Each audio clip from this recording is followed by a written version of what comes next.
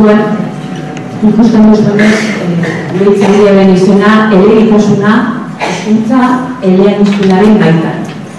Euskara hizkuntza ofizialdiak eta bereziki Euskara ardatza hartuta, bultzatzen jarraitu behar dugu, gero eta kontesto eleaniztunago baten. Hori da, gero eta errealitate, gero eta argiagoa eta horrela jarraituko dugu. Eta elkarrizitza edo marko edo testuinguru horretan mugitzeko baldintzak zehaztu eh, jakin zeintzuk diren eta baldintza horietan aurrera lan egiteko ba, erabatek hartu ditugu eta gure lana antolatu behar dugu. Horregatik, eh, bueno, ba, eh, gaurko etxe lingueko gure sugeretziz eta elkarlanean barri dugu gai hau barri batu dugu gai hau, eta gai honen dukiko du baita, datorren astean bere tokitxoa, beste lerro estrategiko batzuen artean, e, Euskalduna Jaurian Bilbon e, antolatu dugu jardun aldian, ez? Asko dugu, asko egiten aiutan, eta egiten ari zarete ikastetxetan, hizkuntzen esparruan, eta hori partekatu behar dugu, dakizuenez, formazioa bultzatzen ari garen lerro, prestakuntza lerro estrategikoa bultzatzen ari garen prestakuntza modalidadea baita partekatuz ikastea. Eh? Odur, partekatuz ikasteko saioa hau bera, gaurko hau bada, eta datorren eta guztoko jardunarietan, arlo honetan, hizkuntzen arloan, zein beste arlo batzutan ere, partekatuz ikasteko beste aukera bat ekiko dugu. Zuenetik, zuen ikastetxetan egiten da, egiten diren praktika, eragiko, arrakastatzu, horiek, nola, zela, egiten dituzu ikusi, eta beste ikastetxe batutara eh, eramateko. Orduan, erdigunen jarri dugu, lekora nato. Eh, erdigunen jarri dugu, eskuntza, eredu pedagogikoa. Erdigunen jarri dugu, dekretuetan artikulatu ere hizkuntza. Eta erdigunean, beste lerro batzukin, ba, gure eh, Euskal Autonomia Erkidegoko hobetzeko plana, gizonez egin berri dugu, gauzatu dugu, hor ere lerron artetik bat hizkuntzena izango da. Beraz, e, lana antolatuta izango dugu, eta hori konpartitu behar dugu, e, zuekin ikasturte hau bukatu baino lehen. Datorren utetik aurrera eta 2000 eta hogeiko horizonte horretan, barenetan aurrera pausu eraginkorrak egiteko. Gupakarrik ez, denok.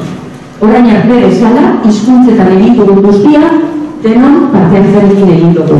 Eragile asko dode hemen, legea eragilea, legea garatu zer egiten da, atxikimendua erritarrena kasultan gurasoena da importantea, profesionalena, irakasleena zer esanik ez, Euskaldutze prozesu guztian, orain beste egiteko batzuko dira, Euskaldutze hori e, euskera maiori egokitzea, gaurkotzea, eguneratzea, inglesa e, ere neurri baten irakasle batzun atetik ere hobetzea belkastea, eta nola ez, horregatik dator gorko hau, hizkuntzen didaktika, didaktikan hobekuntzatik behar ditugu, badaukagu zertan hobetu.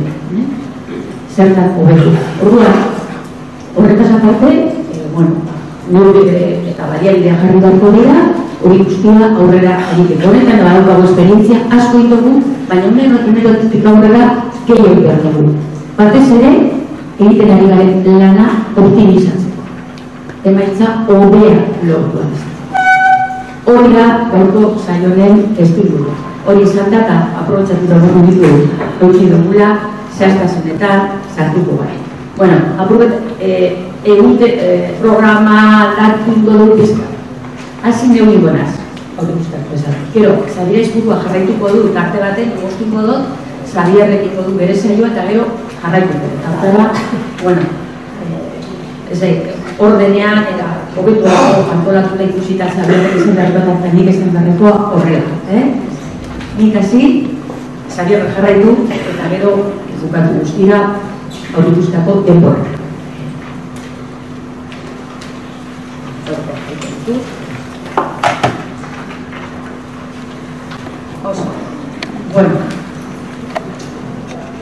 Izkuntzen e, eh, atala hau edo arlo hau mm, oso toki importantea betetzen du, edo dauka, eskuntza eredu pedagogikoaren gure markoan, ez?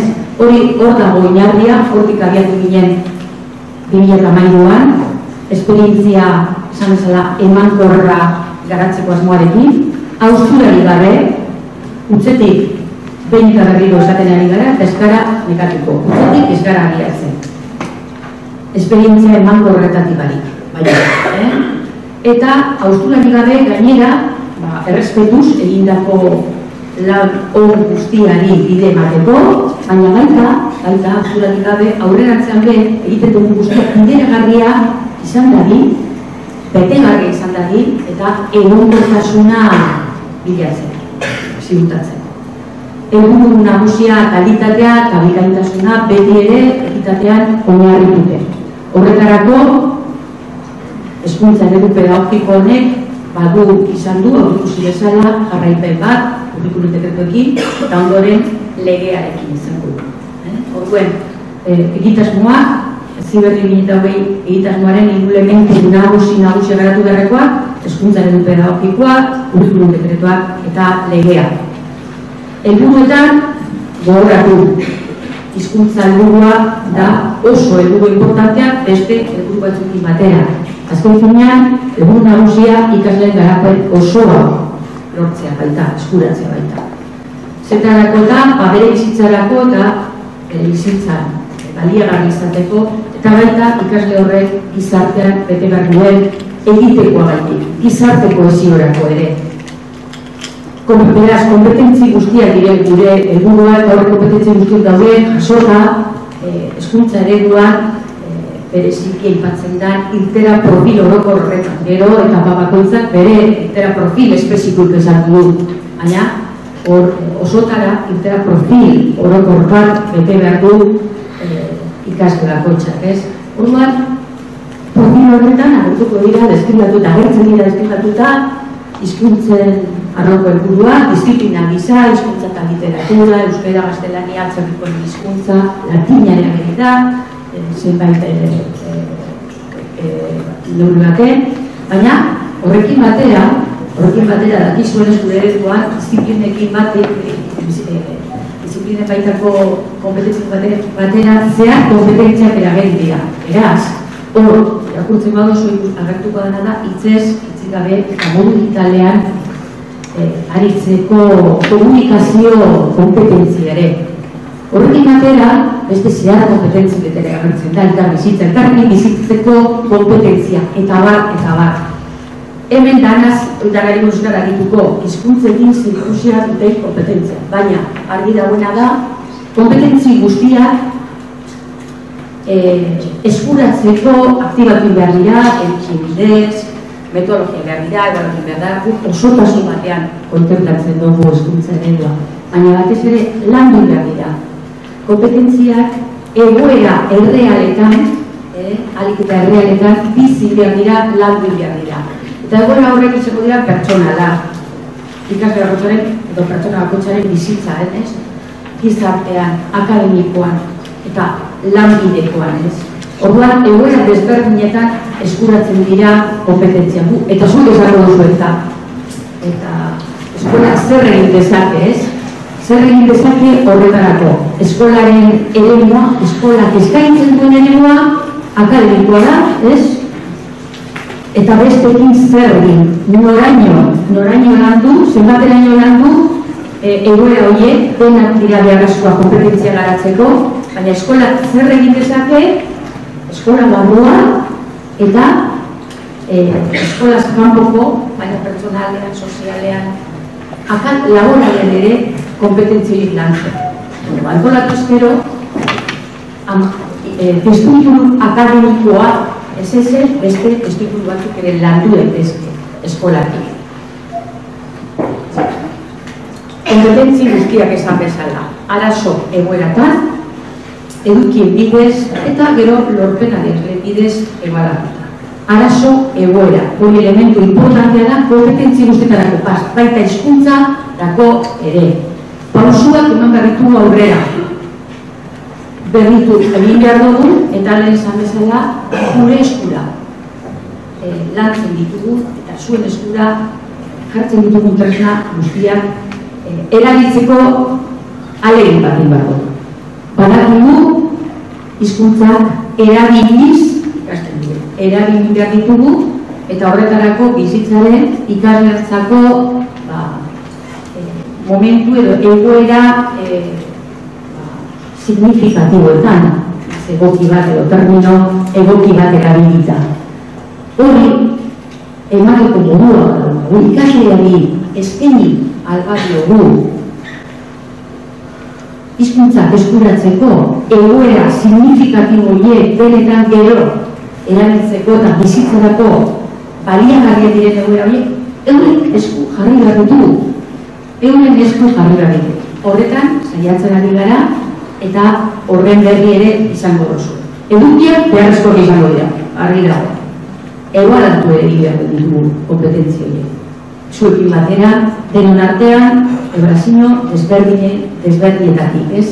Orduan, modu, ekarbanean eta osagarrian. Eskuntzaren pedagogiko ez da berri helburu jartzea.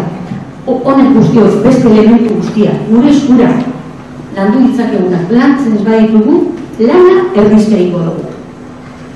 Orduan, zabi retoriko da gero, ez? Emaitzekin. Egin dugun lanaren ondorioz, ze maitza lortzen ari gara. Urreko galdera. Emaitzaiek hobetzeko zer gehiago egin ezakegu, zer gehiago egin ezake eskolak. Bueno, jarri ditzagun, egin ditzagun diagnostiko zorrotzak, eta zintzoa izan da, gure buruarekin zintzoak izan da, zer gehiago egin ezakegu, zer tresna daukagu, zer tresna gehigarri, eh? pedagogiko metodologikoa, formazio zenbateraino, neure burua zenbateraino, nire formazio zenbateraino betu behar dut, nik egunero gelan egiten dodan lan hori eraginkorra hori izan da Hori guzti hori egin behar dugu. Hori guzti hori egiteko ebarazioa, ebarazio diagnostikoa behar beharrezkoa da. Hori guzti hori egiteko ebaratzen oitu egin behar da, gara. Hauzu asko manditu, ebarazio diagnostikoetan hor ditugu pista batzuk ikastetxe ikastetxe. Gilaz gela ere, zabirrek esan du duenez, gela batetik zarretan da, diferentza daude. Izek berdina izan da. Izek berdina izan da. Izek bado, izek bado eragina. Baina, izek berdina izan da. Gela batetik dira, diferentzia bat daude, zerbait beharko dugu. Edo, behar izan bereziak esan dut. Bai, baina ez behar bereziak dituzten ikasleapek, ez da alderik gela batetik dira. Orduan, horrek aldera guztiok, egiteko modu daukagu tanto ditugulako ikastetxez, ikastetxe gelaz, gela. Ez bakarrik irakaskuntza datua, pero gainera urten, eragilera datuak ere baditugu. Orduan, hori guzti hori, eskura dugu. Eta gainera eskuntza proiektu den eskunak ere, beste erramita bat, beste datu bat ere. Horrek ere, ebaratzen ari gara, eta laguntza izango duzu gurekin, horrek eskuntza proiektu den eskunak egiten dugun alegin hori egualatzeko eta jarraian hobekuntzak ezartzeko. Onbakin hau ezin da gehiago, da perdu, ebalazioa beharrezkoa da, eta aurrera jarraitu bat. Horretarako, autonomia e, guretzat importantea da, e, edure egun pedagogikoan dakizuenez, edukiak eta lorpen adierazlak aukeratzeko autonomia e, eman zaizue, eta kurrikulumean dakizuenez edukin blokeak eta ebarazin irizpideak sartu dugu, baina ez ostera ba, e, edukin zehatzak eta lorpen adierazten zehatzak. Horrek ukiko dituzue kurtzu amaierarako. Horrekin batera, horrekin batera, kurrikulum osatu gain erreferentzi modure, osatuko dugu kurrikulum. Horretaz gain, ba, beste elementu importante bat, ze egoeratan, esan dugu ikasi da kompetentziak eskuratzen direla, gure egoera propioa ditugu.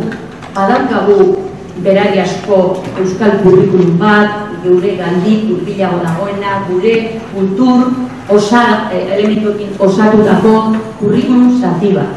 Hor badaukagu, eta hori ere zeuen eskura jarriko dugu. Hor lan bat egin dugu, kurrikuluma osatu ez ezik, eh, berari asko euskal kurrikuluma Euskara eta Euskal Kulturaren transmisioarekin lotutako elementu hori ere osatzen, saiatzen ari gara, eta hori ere bukatuta ukiko dugu.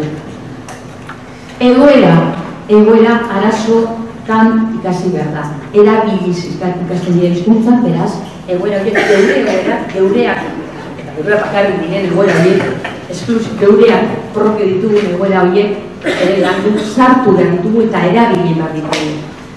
Esan bezala, barne eta kanpoko ebarazio osagarrien bidez, eta porrobekuntza, azkenean geure ebarazio sistema propio hori eratzen jarraitu behar dugu. Pauzu urratxe handiak bete ditugu eta jarraitu behar dugu zein modutara, eredu inklusibo eta ekitatibo da gurea.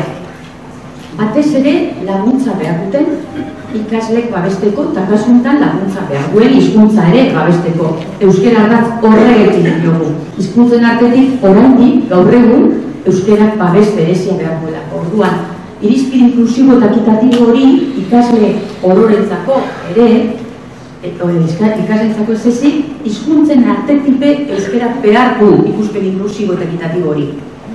Horregatik, inklusibitate hori lantzeko nahi eta nahi ez, helburu lorgarri eta progresiboa.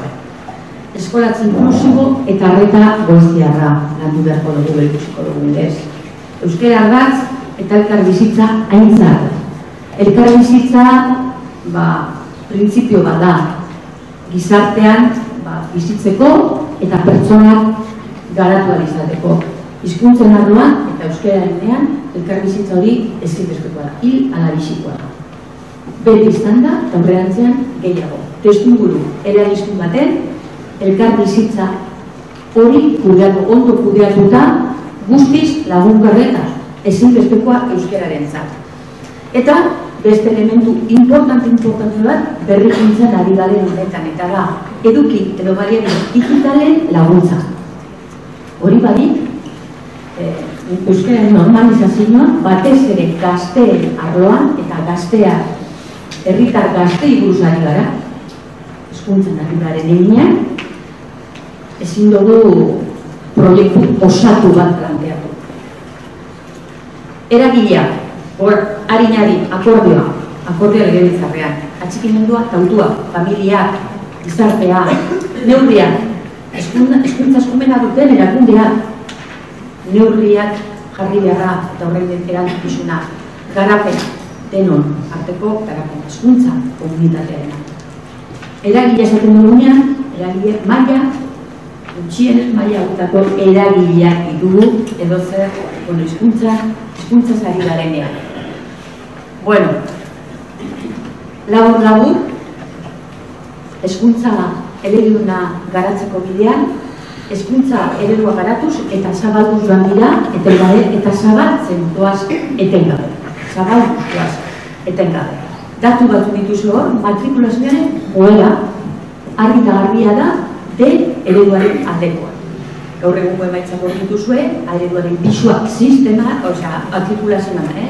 bi urteko matrikulazioan, B ereduarena, e, eta B ereduarena horri dire joera. Joera hauetatik, hau da referentzia etorkizunerako.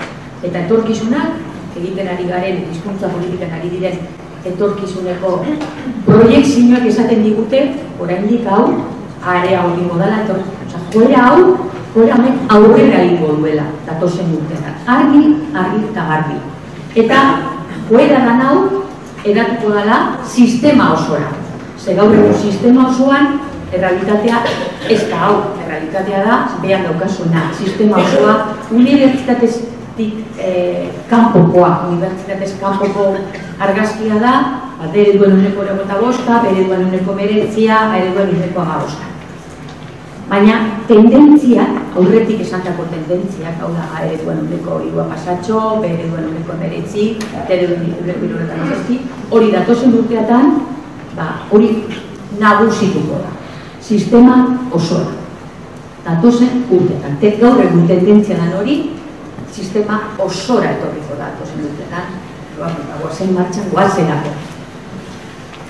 Orduan, eh, kurrikulunean izkuntzen duen partiketa, zorretaz ari gara, honetaz ari garenean, ez kontu bat da, gero, horietan horietan zer egiten dugu, baina ordu, partiketari da okionez, tendentzia da, sistema osoan baita, inglesa sartzen, sartuta ere, hause, euskera gero eta pisu handiagoa gero eta ordu gehiago hartzen ari da, urterik urtera, ikasturtetik ikasturtera, inglesak ere gero eta gehiago, motelago, eta gaztelaniak gero eta gutxiago.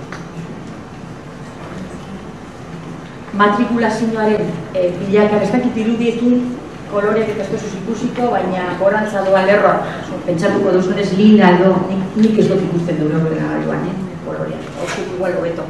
Gorantza doan e, lerroa da e, beredua, linda, edo gorria edo granatea da aeredua, berantza doana, eta gora bera edo, bueno, e, hor mantendu edo gorantza berantza doan hori, be eredua.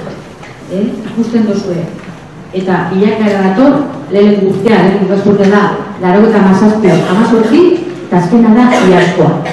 Amabos, hau parkatu, amabos amaziko matrikulazioa. Eh? Orduan, orain dela, gori, amazortzi urte, beste, beste urte, hemen gaudin batzuntzak. Orduan, ordu, orain dela, eh, amazortzi urte, aetua, Dele gainetik zegoen. Ez horrein hogeta boz, hogeta mar, horrein amazortzi. Ikusten duzu non gurutzatzen dira, tendentzi hori, bibila garren urtean, bibila garren, bibila eta bat erratean, ja gurutzatzen dira lerrobiak, eta hortik aurrera, e, datoria e, aldeitzen doaz, deredua, gora eta gora, eta e, beredua, ba, aeredua berantza. Hor, begiratu behar dugu ondo, zorretakoak, puntzuataratakoak dire, baina dakizuenez, ba, ontsa esango dugu moduen, hizkuntza ere duen garapena garatu zala esaten dugu, eta orain garatu gabe dagoela dugu, ze gaiti? Hone ze gaiti? Gura zuen autuari ezker, asko. Itugu, eta tendentzio da, bilteko. Baina gero, etapa guztietan ez dugu, ez da barrun gauzia gertatzen. Horren, uste dugu derdo badaukala askunderako tartea. Bai tendentzi gisa, sistema oso zagaltzeko, baina baita, eta bauzan, batxierman eta lanbidezik. Eta uste dugu behiratu behar eh? usteak uste, eh? usteak uste. Baina eh, hor gertatu dan B ereduaren gorantzako marratxo hori horreitik izan daiteke da. Hauten, batxiergoan eta lanbideziketan bere taldearia sartzen hasita gaude. B eredua eskaintzen, hauten. Arteko kursen, amabos amazio. Ze gaiti, galera bat gertatzen zenako. Bere duen egon DBH eta e, batxiekora eta lanbideziketara pasatzerakoan, ikasle horietako bere horietako genienak pasatzen izan direlako orain arte aeredura. Arbita garbi, guretzat hori galera bada. Bere gona dauen bitartean, galera hori ezin dugu gure ustez e, gertatzen dutzi. Zer gaiti, Guri ikasleen ibilbidea ez delako amaitzen amazi urterekin derrigorrezko hezkuntza bukatutakoan. Eta baina esan eta esan gabiltza guri ikasle gehienek ez dutela hezkuntza uste. Eta jarraituten dutela e, batxiergoan, angileziketan, unibertsitatea antzauguen ibilbide guzti horretan helburuak egon behar dira. Ez dira galerak egon. Ibilbide osoari erreparatu behar diogu. Hori gure ardura gure ardura da amasi urteko elmuga hori gainditzea? Bai, lehen gueldu. Baina urtik aurrera ere jarraikin behar dugu, zezaten dugu ikasleak bizitzarako prestatu behar ditugula. Eta ez, amasi urtera arte bakarri, bizitzarako. Orduan, hori esan da, hori esan da, horretik ulertzen dut, hori esan dugu grafikoaren, ez? Grafikoan, ereduaren txak, gorantzako bat, ereduaren diberago, bueno, eh, ondo konprobatu dugu, ez claro, egin barria da, orain dik ereduko eskaintza hori batxierro eta labidezeketan areagotu daiteke hasi baino eskaren. Eh? Aereduan ere, aereduan daudenek ere behar dute eta ahal dute eskaintza hobea, legeak utzi egiten du. Euskal Eskola Publikoaren legeak dino, aereduan gehiago euskeraz, euskeraz ere irakatzen daiteke. Eta hori, orain zura testu hortan, horri ez diogu erreparatu, Bale, kasu batuta bai, baina sistematiko ez. Eguan, naiz eta eredu horretan, etorkizunean, ikasleen, zungo bat egon, horrek behar dute atentzio bat merezi, merezi dute behar, behar dantesteko atentzioa, ez? Atentzioa eta emaitzak lortzea. A ereduetan, Xabierrek ez dakizu baten osango dut, baina ereduetan, a ereduan, aurtengo berazen diagnostikoan, a eredu publikoan, a eredu guztietan opreso bat dago ez, euskaren emaitzak hobetu. Bueno, hori hor dago. Eta gero, esan dugu, ikasleen ikibide ez dara bukatzen, ez? Baina, begira, goi mailako ikasketetan, ere, goi mailako ikasketak, unibertsitatez kanpokoak, dantzerti, ikastetxe berri bada. Goi mailako arte, bueno, e, antzerki eta dantza ikastetxea. Bele, duteri eskola bat, orantxe sortua. Orduan, hor egin behar duguna da, e, hortik ere jarraitu behar dugu, ikarak askuntza horiek euskaraz. Orduan, ibilbidea, ibilbidea akademiko hori ez da bukatzen. Eh? Beste egoera batzutan ere euskara landu behar dugu, baina ez da bukatzen. Eta hori, elean iztasunerantz, pausoak eginez. Egin ditugu, mila laro eta mazeitik ona, pausu importanteak, inglesa txertatzeko modu ezberdietara. Eh? Bai, edo eskuntzan, DBH, batxiergoan, met, edo eskuntzan marko hiru jarri zan, bimila eta martxan, eta bultzaten ari gara orain, modu zabalago baten, euskera gatzatuta hizkuntza proiektu elaniztunak. Emaitza, ibilbide horre guztion emaitza, hause, TBH hartuta, hartu ezkero, igezko ikasturtean, mate, kurrikulunaren euneko amairuako bat ematen izan inglesez. E, aldi berean, aldi berean, e, bilak hau lortu dan aldi berean, euskara semandako orduak gehitu egin dira. Hau ez da egin, hau ez da egin, gaztelania, oza, euskara hori, e, euskara orduak kenduta.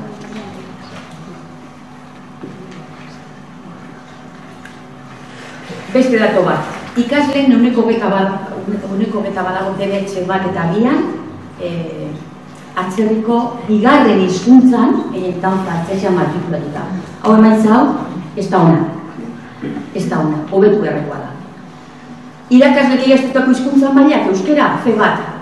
Inglesa, euskera, fe baten, fe baten mailakoa, uneko larrota bat bostotik gorako e, kopurua daukagu. Inglesean berriz, dato berriztatua dire, bebia, neko amairuko mairu, ze bat, gutxienez, ze bat edo, ze, edo, ze bi, euneko sortzia koma bat.